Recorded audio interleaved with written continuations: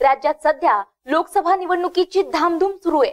बडे नेते Fortuner Audi आणि इतर आलिशान गाड्यांमध्ये प्रचार करत फिरत आहेत. प्रचारादरम्यान पंचतारांकित हॉटेलमध्ये त्यांचा मुक्काम असतो. मात्र निवडणुकीच्या सुरक्षा व्यवस्थेचा संपूर्ण भार खांद्यावर वाहणाऱ्या पोलिसांची अवस्था विदारक असल्याचं समोर आलं आहे.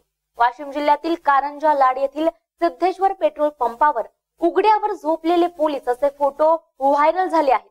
एका पोलिसाने आपल्या वरिष्ठांना लिहिलेल्या पत्रातून बंदोबस्ताच्या नावाखाली पोलिसांचा होणारा छळ आणि हाल अपेष्टांचा पाढाच वाचून दाखवला आहे. दहा एप्रिलला राज्य राखीव दलाचा एक गट बंदोबस्तासाठी चिचगड पोलीस स्टेशनला पोहोचला. त्यानंतर अकरा एप्रिलला संध्याकाळी सहा वाजता गट पुढील बंदोबस्तासाठी गोंदियाला रवाना झाला. नक्षली ड्युटी असल्यानं तिथे आराम करणं शक्य नव्हतं. निवडणूक ड्युटी संपताच गोंदियातील बोरगावातल्या बेस कॅम्पवर परतला. पण पाच मिनिटही आराम मिळाला नाही. तिथून लगेच पुणे ग्रामीण बंदोबस्ताला निघण्याचं त्या पोलीस संघाला आदेश मिळाले. रात्रभर प्रवास करून पथक अखेर सकाळी चार वाजता पेट्रोल पंपात पोहोचले.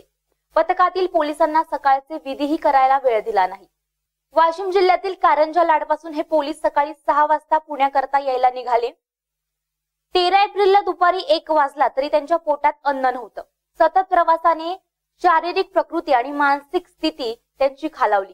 अशा परिस्थितीत खाण्याची जेवण्याची तसंच राहण्याची व्यवस्था न करता वरिष्ठ अधिकारी परस्पर रजेवर निघून गेले. आहे अशी पोस्ट या कर्मचाऱ्याने लिहिली आहे.